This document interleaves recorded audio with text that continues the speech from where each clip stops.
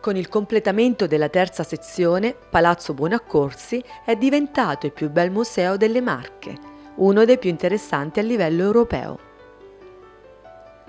Le 16 sale presentano le opere secondo un percorso cronologico, supportate da tecnologie multimediali e audiovisive.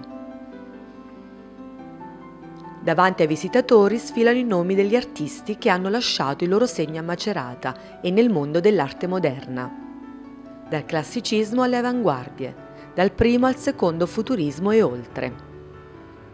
Baines, Tassara, Tano, Monachesi, Peschi, Tulli, Vedova, Cantatore, Bartolini, Schifano, Spazzapan, Licini, Peruzzi, Zoren, Brindisi, Trubbiani, Barisani, Aligi, Sasso, Piattella, Staccioli, Sguanci e Craglia, solo per citarne alcuni.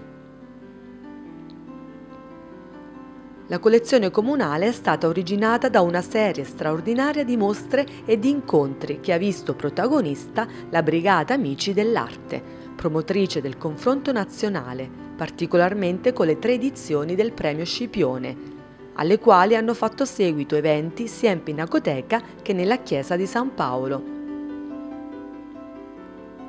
Una sala dedicata a Ivo Pannaggi, eclettico artista maceratese che ha spaziato dalla pittura all'architettura, dalla grafica alla poesia, caratterizzata questa dalla pressante sonorità futurista.